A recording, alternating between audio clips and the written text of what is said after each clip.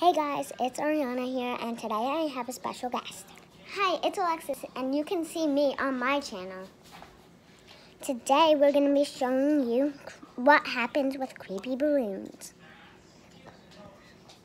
So there are the balloons right here. Alexis, bring them over here.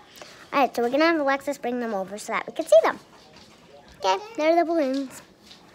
Alright, so we're going to be showing you what happens with the balloons. And we're going to start now.